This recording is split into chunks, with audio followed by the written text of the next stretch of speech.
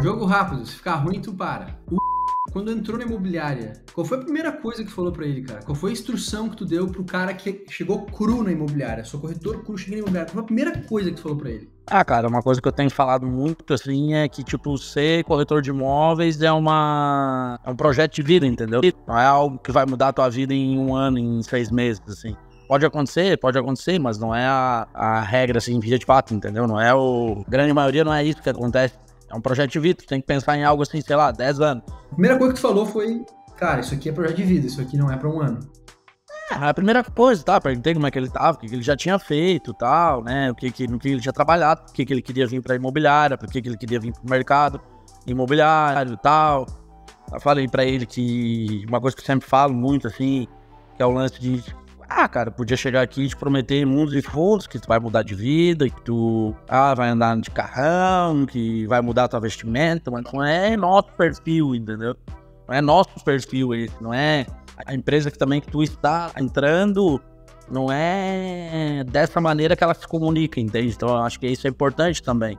Top. Tá, e aí passou a entrevista, o dia que ele chegou para começar a trabalhar, como é que foi, tu lembra? Ele chegou, eu lembro que até um dia a gente se falou por vídeo chamado, eu tava do lado dele fazendo algum treinamento com ele. O dia que ele chegou para trabalhar, como é que foi? O que, que mandou ele fazer? Ah, cara, a gente sempre inicia aqui pelo, por, pegar o quadro de chaves da imobiliária e sair conhecer os imóveis, né?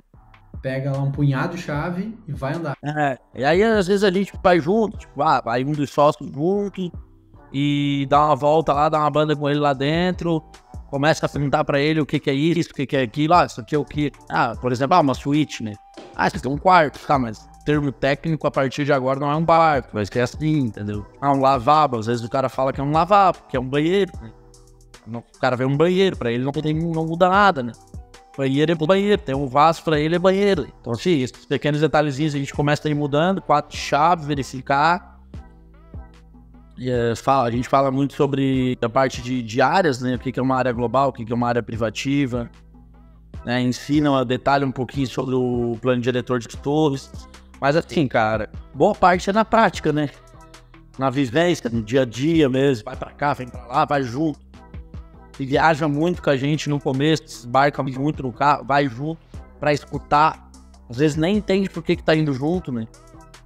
Sabe, a gente viaja bastante, mas vamos levar o guri, pegar o guri, ainda mais ele, 21 anos, sentar na frente de um cara que tem poder aquisitivo, ficar ali ouvindo, fazendo, eu acho que o, o, a cabeça, o cérebro começar a se é, identificar e, e virar uma, uma, uma, um hábito para ele, aquela, aqueles termos novos, aquelas palavras novas.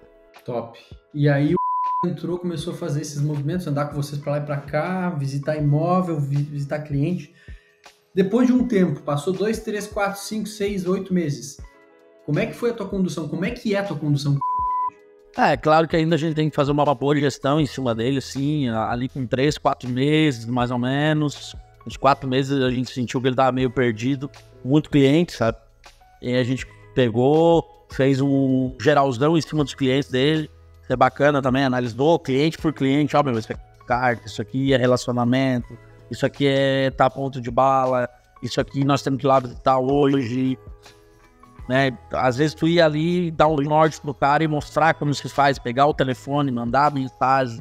Isso eu fiz com ele ano passado, eu mesmo. E aí, ele já vendeu então?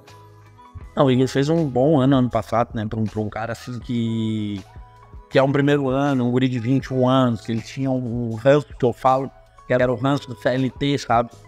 Seis horas tinha que ir embora, sábado era um domingo, tinha aquele ranço Ontem conversei com ele ainda, Deus parabéns, que ele melhorou e evoluiu bastante quanto a isso, sabe? A saber que agora é, é cara, não tem, é autônomo, é a profissão dele, é, é, o dia todo, é a noite toda, é o momento todo, é onde estiver. Vai ser corretor, né? Não adianta, né? Tem assim, eu sou corretor até às 18. Esse cara, a gente não vai publicar o nome dele, mas ele fez quanto de comissão até agora? Tem uma ideia mais ou menos quanto? Ano passado a gente botou uma meta. A gente esperava, assim, é a meta que a gente sempre coloca. Cara, que nem eu tô falando, um cara com 21 anos, né? Cheio de desafios, de medos. Cara, o nosso ticket aqui, nosso cliente tinha um setentão, um sessentão. Não é fácil um guri sentar na frente de 21 anos, sentar na frente de um tiozão de 50, 60, 70 e convencer o cara a comprar uma, um AP de um ticket de 1 milhão e meio, 2 milhões. Então assim, a gente sempre, cara, 100 pilas, se ele entregar 100 pilas, ele não deu prejuízo e ele ganhou alguma coisinha. 100 pilas de comissão bruto. E é, é algo mínimo mesmo, assim, ó, cara, é algo mínimo. Ele entregou 145 pilas. 145 mil, caraca. Já, opa, vale a pena trabalhar sábado. Opa, vale a pena trabalhar domingo. Opa, o feriado tá valendo. Então esses ranços tu vai tirando, é com o tempo. Óbvio que, que, que vai errar bastante ainda, é um guri, né, cara? 21 anos, não dá pra tu botar uma pressão. Tem uma paixão pelo balão. É, gosta de estar tá participando de campeonato. É uma coisa que a gente alinhou também, que esse ano é um ano que ele vai participar só de um ou dois campeonatos no máximo, que isso aí é uma coisa que vai ficar mais lá para frente para ele poder aproveitar. Né?